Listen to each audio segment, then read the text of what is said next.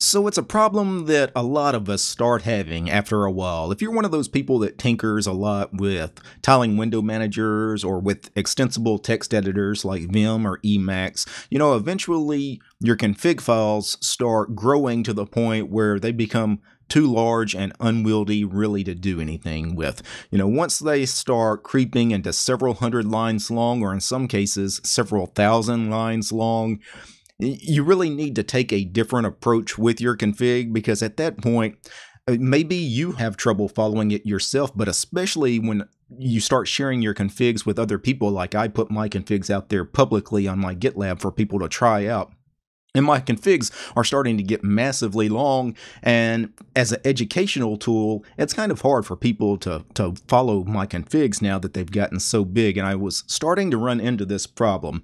And I really started running into the size problem here with my Xmonad config. I also was starting to run into some issues with my Emacs config because it was getting to the point where I really didn't know what was going on in some of that Emacs config file. You know, I was trying to comment everything everything. So I knew, you know, when I added this line, this line did this and that line does that.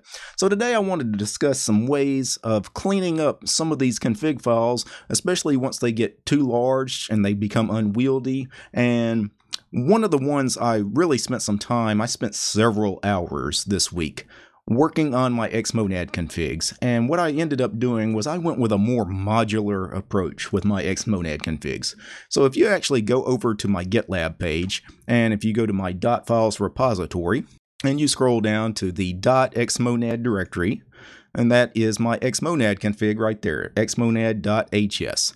Now, that thing had creeped up to over 1,000 lines in length the other day, and that's when I decided I can't have that.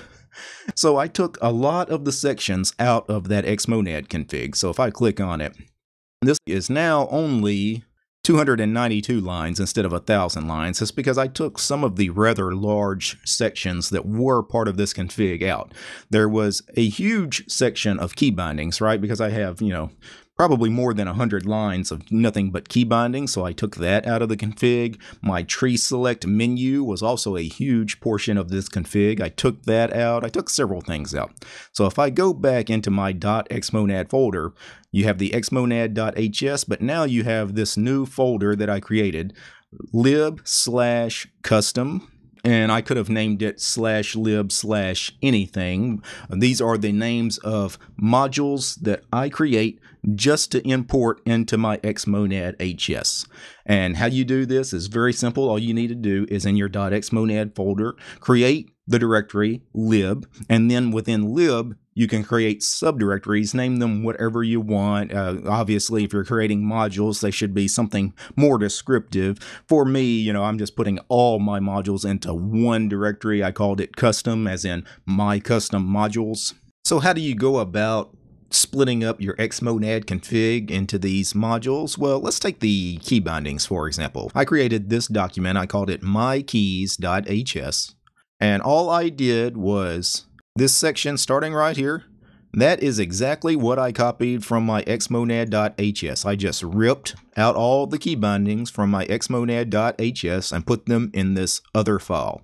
Now, you can't just put the key bindings by themselves, you do also have to import the various libraries that these key bindings use. And, and this My Keys module I created needed a number of modules imported to work. The first thing you need to do when you create your own custom module, let me zoom in here in the browser. The very first line is the important one. You need to type module space name of the module you created, in my case, custom.mykeys, and then where.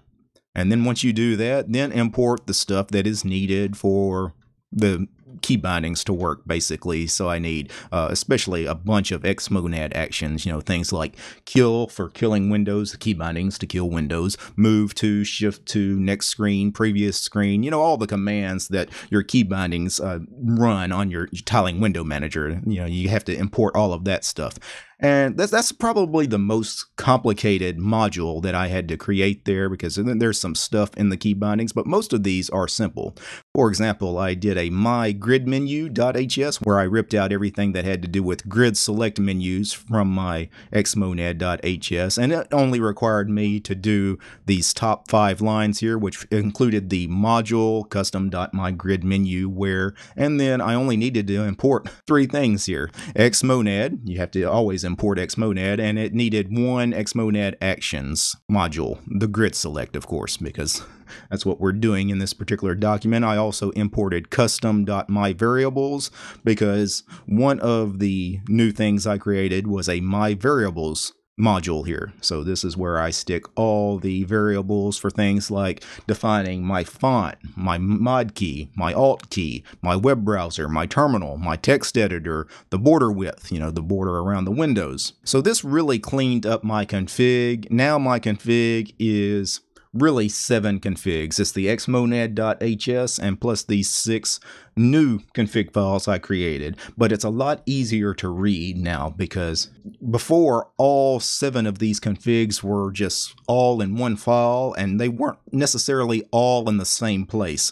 Like, you know, you had uh, key binding stuff may be in multiple places in my xmonad HS, or you know tree menu stuff in multiple places in my xmonad.hs. Now I've split it all into their own separate modules, and anybody that's coming behind me and trying to use my configs will be much better served here because they will actually be able to read and follow along exactly what's going on instead of having to read one single file that's more than a thousand lines long of Haskell so that's what I did with Xmonad. Now, I also spent some time working on my Emacs config because I said it was starting to get unwieldy. It wasn't getting unwieldy because of the fact that it was getting too large. It was really getting unwieldy for the fact that I, I couldn't really tell what was going on in the source code. And I was trying to comment, leave a bunch of comments all over that particular document. And what I finally decided to do, people had been telling me to do this for a while, is to go ahead and convert my Doom Emacs config over to a org document.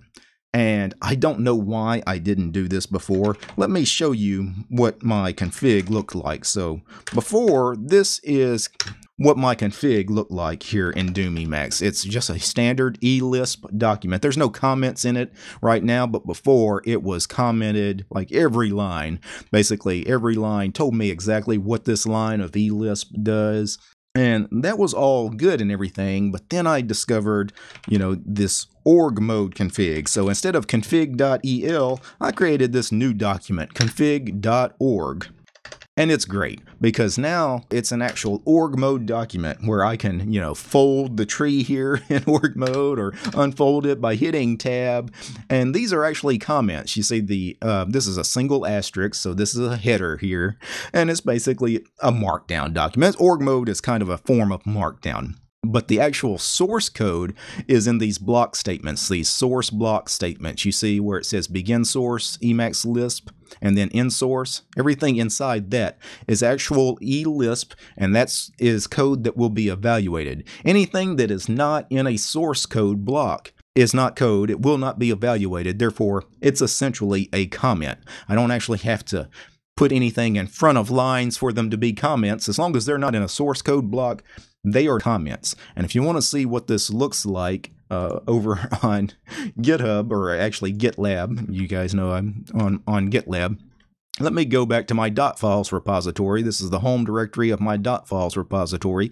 Go to my doom.d directory, and now I have config.el, the eLisp version of the config, but now I have config.org. And if you click on it, and this is what that document looks like.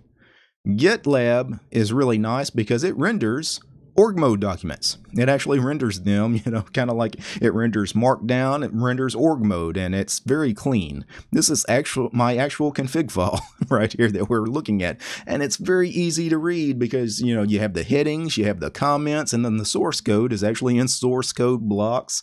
So that's the way it looks rendered. If you wanted to see it, of course, not rendered in the actual source code, you could always display it like this in GitLab, but it's much cleaner to actually read it in the proper rendered format. So I am really happy that I went to the trouble of doing that, and that was so easy to do.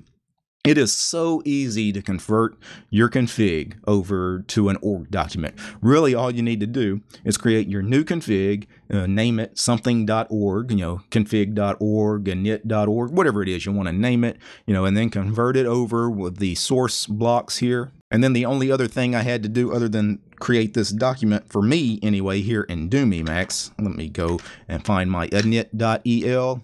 In the init.el for Doom Emacs, there is a line somewhere that says literate right here. The very last thing in the config, it says config literate. This is commented out by default. It's going to look something like that.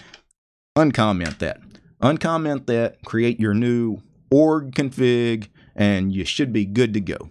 So that's just a little bit of what I spent many, many hours this week working on. The, the Xmonad, splitting that up into multiple config files, really took a lot of time.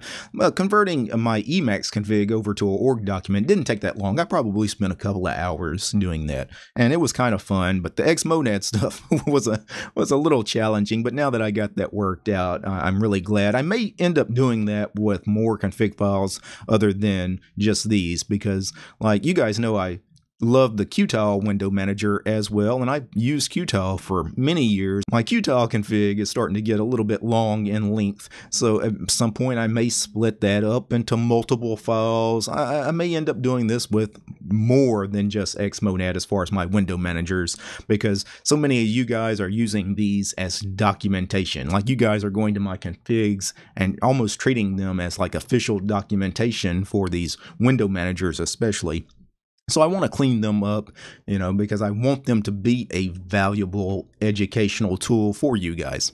Now, before I go, I need to thank a few special people. I need to thank Michael, Gabe, Heplo, Nate Corbinian, Mitchell, Entropy UK, Arch 5530, Chris, Chuck, DJ, Donnie, Dylan, George, Lewis, Omri, Paul, Sean, Tobias, and Willie. These guys, they are my highest tiered patrons over on Patreon. Without these guys, this episode about my rather bloated configs, it wouldn't have been possible. The show is also brought to you by each and every one of these ladies and gentlemen. All these names you're seeing on the screen, this is all my supporters over on Patreon because this show is sponsored by you guys, the community. If you'd like to support my work, you'll find DistroTube over on Patreon. All right, guys. Peace.